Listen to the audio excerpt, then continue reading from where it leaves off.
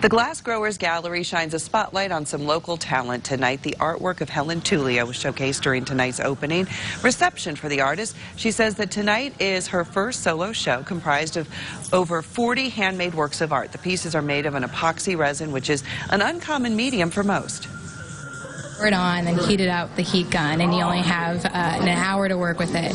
Um, most are like four layers so i have about like four to six hours each piece. Um, it seems pretty fast for a work of art but it's it's it's so hard and every every piece i do i learn more and more about it.